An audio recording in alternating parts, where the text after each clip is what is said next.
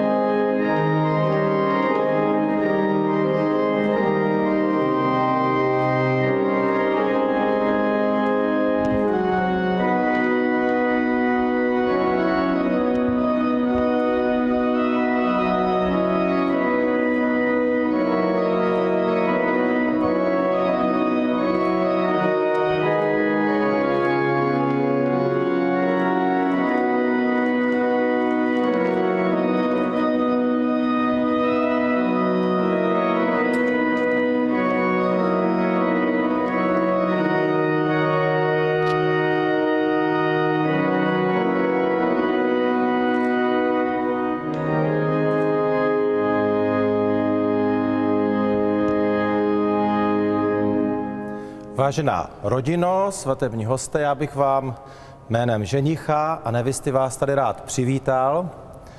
Je to zvláštní den na úseku jejich životní cesty a jejich jediným přáním a touhou je, abyste s nimi tu chvíli prožili v radosti, abyste měli krásné vzpomínky a já mám pro vás jeden úkol, nebude vám to vadit? Já vás chci poprosit, jestli byste mohli vytvářet atmosféru. Atmosférou myslím to, že když se něco povede, například ženichovi se povede říct ano, tak můžete se zaradovat.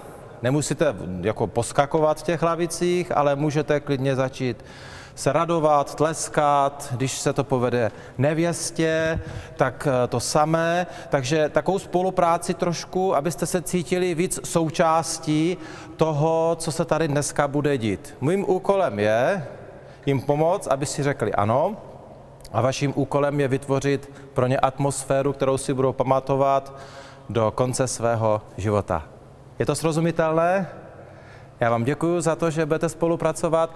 Jedna praktická věc, jenom, jenom mi připomínám, eh, pokud chcete fotografovat, tak fotografujte z místa, kde jste, aby jsme tady nepobíhali a mohl celý obřad proběhnout tak, jak má. Tak já si budu muset sledovat všechny úkoly, které jsou přede mnou. Tak první věc, kterou bych si dovolil udělat, je, jsme v božím domě, jak se říká, takže já bych se krátce jenom pomodlil, ale vy seďte, cítíte se úplně svobodně a úplně příjemně a dobře. Otče, já ti chci poděkovat za krásný den, který si dal, i když mělo pršet, tak slunce a já ti děkuji, že to je takový dar, který si udělal pro Radka Jitku a modlím se za celou tu svatbu, která teďka má proběhnout za celý ten obřad a prosím tě jenom o tvé požehnání, aby si něco otiskl do atmosféry tohohle chrámu teďka tady a, a dotkl se lidských srdcí. Děkuji. Amen.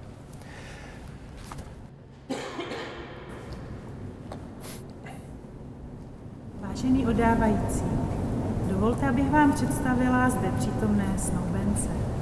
Radek Dezort a Jitka Krejčová. Zároveň vám představuji také jejich svědky. Ivona Matějková a Lenka Krejčová. Oba snoubenci prohlásili, že spolu vstupují do manželství, že jim nejsou známy okolnosti vylučující uzavření manželství, znají navzájem svůj zdravotní stav zvážili úpravu budoucích majetkových vztahů, uspořádání budoucího bydlení a hmotné zajištění rodiny po uzavření manželství. Rozhodli se užívat společné příjmení Dezort, Dezort Krejčová, A příjmení Dezor budou užívat také děti narozené z tohoto manželství. Děkuji. Teď nás čeká takový uh, kulturní zážitek, takže já poprosím Varhany, aby zahráli skladbu, která byla vybrána ženichem a nevěstou, takže se zaposlouchejte a nechte své emoce možná trochu probudit více, než jsou zatím.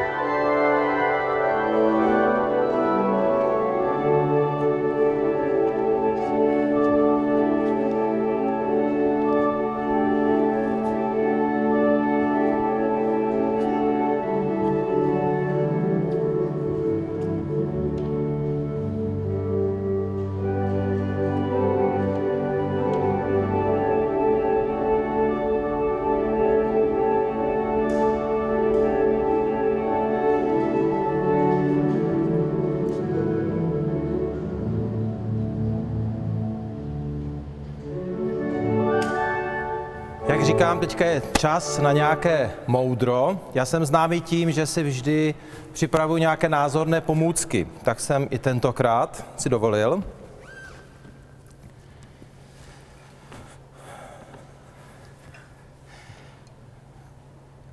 Dovolil jsem si koupit tohle francouzské víno. A věc, kterou bych vám chtěl nějak tak říct, jako nějakou myšlenku, která by vás možná mohla provázet, se budu snažit s touto lahví červeného vína demonstrovat. Nebojte se, nebudu ji ani otvírat, ani tady nebudeme pít všichni.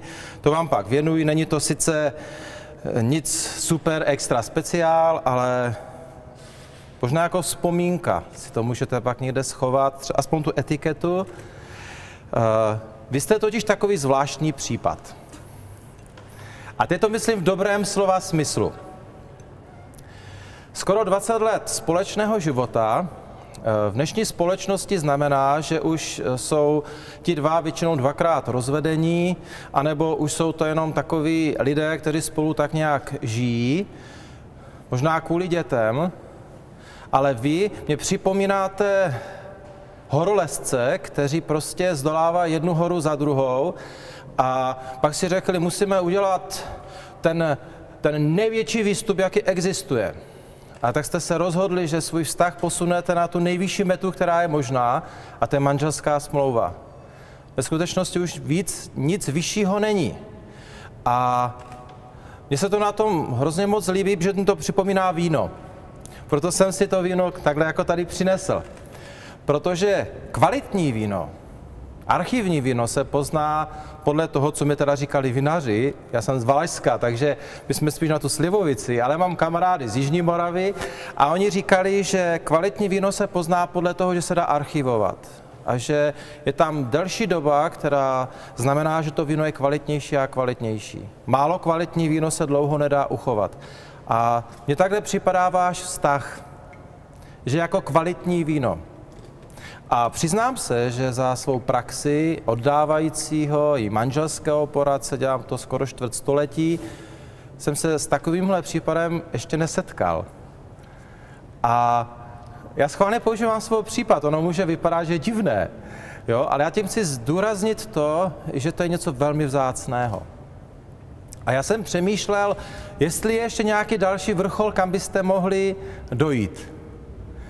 A dospěl jsem k závěru, že možná už to není o dosažení dalšího vrcholu, ale že to je o obsazení toho vrcholu. Že to je o tom, že se tam zabydlíte a že si vychutnáte tu krásu toho nejvyššího místa, kam je možné dojít jako muž a žena. Manželství je velikánské tajemství. A je v něm skryto tolik, že ani žádné knihy nejsou schopné o tom napsat všechny pravdy. To, co je zvláštní na manželství, je to, že každé je jiné, protože ho tvoří originální lidé a takový, jako jste vy dva, takový se už nikdy nenarodí a ještě se, a taky se nenarodili. Protože každý z nás je originál. A máte před sebou obrovskou výzvu. Udělat své manželství ještě lepším, než je váš vztah, ještě prohlubovat. Teď už to je jenom o zrání. Ten vrchol, teď už, už jste těsně před ním. Za chvilku tam vystoupíte, vstyčíte vlajku a budete mít fotky, jak jste tam byli. A já vám moc přeju, abyste jenom mohli možná pravnoučatům vyprávět velký příběh lásky a možná někde budete mít schovanou etiketu o tom, která bude znamením, že, že jste to celý život mysleli pořád tak vážně jako teď.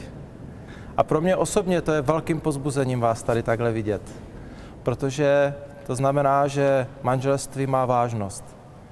A to je to, co potřebujeme. A za to vám chci poděkovat. Já to položím sem, pak můžete pověřit nějakého rodinného příslušníka, aby vám to vzal, můžete to někomu dát nebo si to nechat. Já bych poprosil svědkyně, jestli by si mohli za vás stoupnout. Teď je váš čas. Trošku tak jako do vějíře takhle. Tak, tady někde, tak, perfektní. Možná trošičku dozadu. Tak, ještě kousíček. Perfektní. Nemyslete si být svědkem na svatbě, to není jenom úřednická záležitost. To je určitá zodpovědnost. Jste svědci toho, že ti dva se rozhodli, že chcou spolu vstoupit do smlouvy, do toho nejintenzivnějšího a nejintimnějšího vztahu, do kterého může muž a žena na téhle zemi vstoupit. Mým úkolem je teďka vás provést tou slavnostní chvíli. První věc, kterou budeme teďka, nebo vy budete dělat, já vás poprosím, abyste se k sobě otočili čelem a potichu si pošeptali své osobní sliby, které jsou jenom pro vás dva. Jestli potřebujete mi trochu víc soukromí, já ustoupím, můžete přijít sem.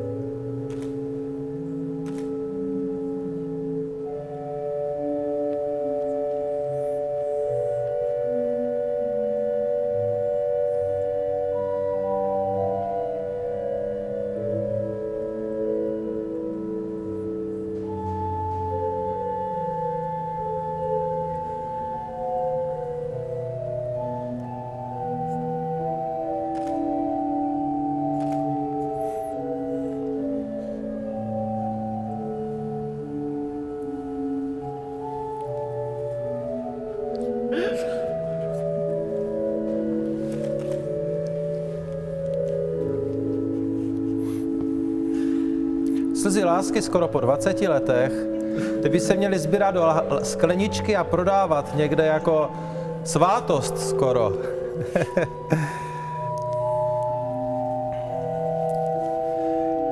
Milí Radku a milá Jitko. Došli jste ve svém životě i vztahu k významnému milníku. Rozhodli jste se totiž použít nejsilnější vyjádření vzájemné lásky, které naše kultura zná. Tomuto kroku se říká uzavření manželské smlouvy. Není to jen nějaký papír, ale vědomé rozhodnutí, kterým sobě navzájem, ale i všem kolem říkáte, že to spolu myslíte naprosto vážně a to až do konce vašeho života. Co to znamená ale reálně? Dovolím si citovat jednu biblickou pasáž. Láska je trpělivá, je laskavá. Láska nezávidí. Láska se nevychloubá ani nepovyšuje. Není hrubá, nehledá svůj prospěch, není vznětlivá, nepočítá křivdy, není škodolibá, ale raduje se z pravdy. Všechno snáší, všemu věří, vždycky doufá a všechno vydrží. Tak, jak jsem měl možnost vás poznat, tak mi to přivedlo k závěru, že toto je přesně ten druh lásky, který toužíte mít mezi sebou po celý svůj život. A proto věřím, že když dnes na tomto místě zazní vaše ano, není to jen pouhé slovo, ale vědomé podepsání smlouvy života, kdy jeden druhému slibujete, že chcete žít život jen pro toho druhého. Tento slib také znamená, že nikdy jeden druhého neopustíte, ale budete si navždy věrní. Proto se tě, Radku, ptám, před tvojí nastávající manželkou i přítomnými svědky. Budeš jít se oporou v dobrém i zlém a budeš ji milovat za všech okolností, jsi rozhodnutý ji přijmout takovou, jaká je. Slibuješ, že ji budeš vždy chránit a pečovat o ní. Je tvým rozhodnutím, že chceš, abyste žili v radosti, lásce, harmonii a vzájemném pochopení. Pokud jsi se tak rozhodl, řekni teď prosím nahlas ano. Ano. Slyšeli jste to? Slyšeli. Můžete? Ano, to je... Já jsem čekal, jestli jste nezapomněli. Ptám se také tebe, Jitko.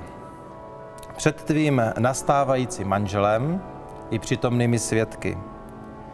Jsi ochotná zachovávat Radkovi lásku a věrnost? Budeš si jej za všech okolností vážit a budeš jej podpírat a podporovat, a i když si to nezaslouží, budeš na něj laskavá, vlídná a jsi ochotná se starat o něj i o váš domov. Pokud si se tak rozhodla, řekni teď prosím nahlas ano. Ano. Řekla, já jsem to slyšel. Protože jste splnili podmínky pro uzavření manželství dle zákonu České republiky, prohlašuji vaše manželství za právoplatně uzavřené. A teď nás čekají všechny ty báječné věci, eh, na které se všichni vždycky těší, fotografové i rodina. Takže první věc,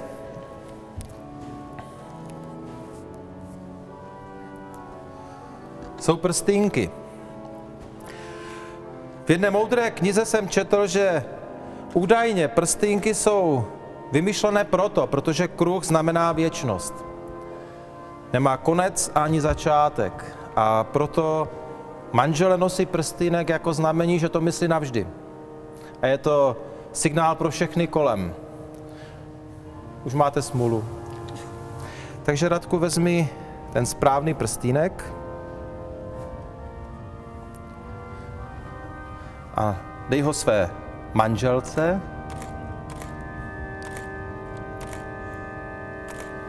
Já ti podržím květinu. Vezmi ten zbylý prsten a dej ho svému manželovi.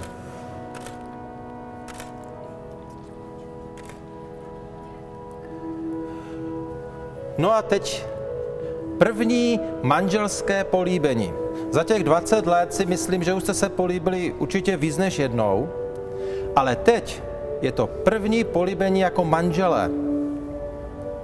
A jedna praktická věc. Je důležité, abyste se políbili déle, aby to fotograf stihl vyfotit.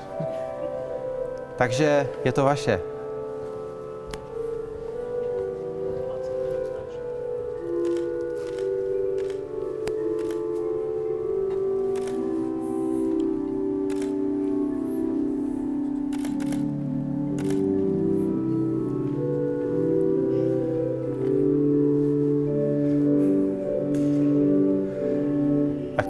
Pořádné. Já vás poprosím, jestli byste mi podali své ruce, já vás jenom požehnám. Já vám žehnám ve jménu Ježíše, abyste zachovávali lásku, aby vaše milování a zájem o druhého byl stále silnější. Že na vás tomu, jestli se rozhodnete mi děti, aby se vám narodili zdravé a krásné děti. Žehnám vás, abyste měli prospěch ve všem, co budete dělat. Žehnám vás, aby manželství pro vás bylo tím nejlepším rozhodnutím, které jste kdy ve svém životě udělali. Ženám vás, abyste mohli prožít takový život, aby až jednoho dne, až budete staří a podívali se dozadu, abyste mohli říct, nikdy bychom neměnili.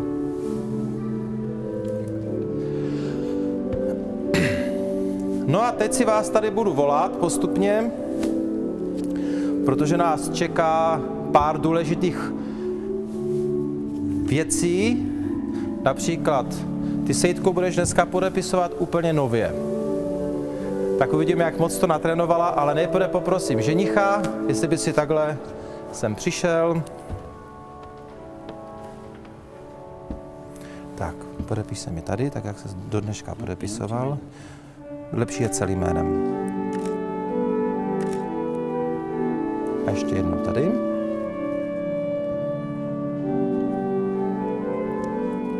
A ještě se mě podepiš, prosím tě, tady. Mhm. Ano. Perfektní. Děkuji. Tak, prosím nevěstu.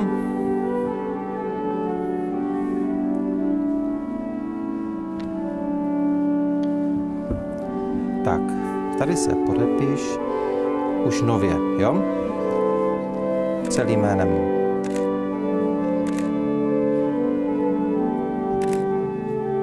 A tady se podepiš, jak se podepisoval do dnešního dne. Tak, a ještě si mě tady, musíš tři, tady ještě jeden. Teďka jak, už jako nová, jako manželka.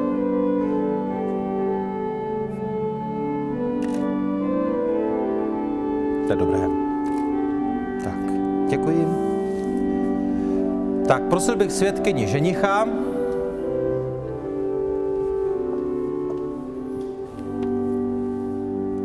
Tak, prosím, tady podpis. Mhm. Celým jménem.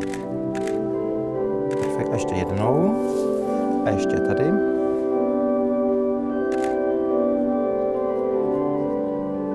Perfektní. Děkuji. Svědkyni nevěsty.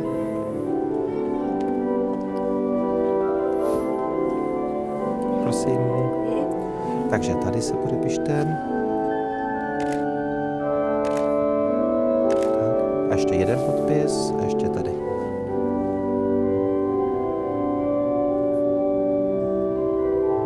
Děkuji moc.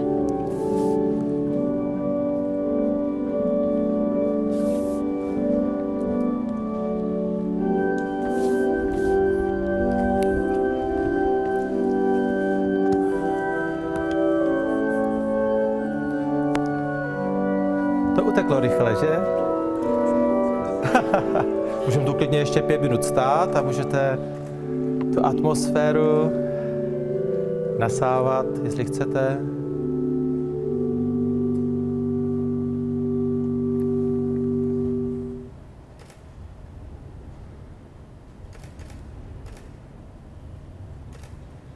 Já doufám, že cítíte ten vítr na té hoře nahoře, jak to tam vane, je to jiné, je to velké dobrodružství. Já bych vás teďka poprosil, jestli byste se mohli otočit směrem k rodině. I svědci. Tak dovolte mě, abych vám představil novomanžele Radka a Jitku. A můžete je přivítat do jejich nového úseku života.